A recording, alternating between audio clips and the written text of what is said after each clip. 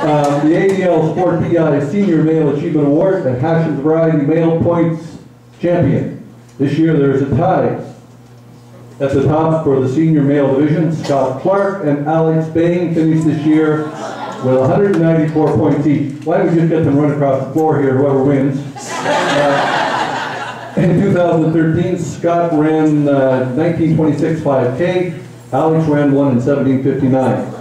Scott ran a five miler in 2913, Alex ran it in 3038. They were 36 seconds apart in their 10K times.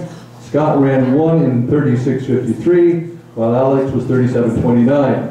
Their 10, ki- their 10 mile race in Summerside and the Farmers Healthy Farmers Run finished in a tie of 101.54. So the photo evidence shows who had split the second lead.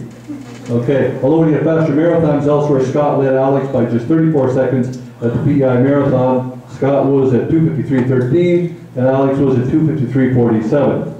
Scott celebrated his 50th birthday in 2013 by going to Utah to run his 50th marathon. Wow. Alex, at about a half of Scott's age, has six marathons under his belt. They ran 11 races together in 2013. In seven of those, Scott finished right in front of Alex. Alex finished right in front of Scott and won.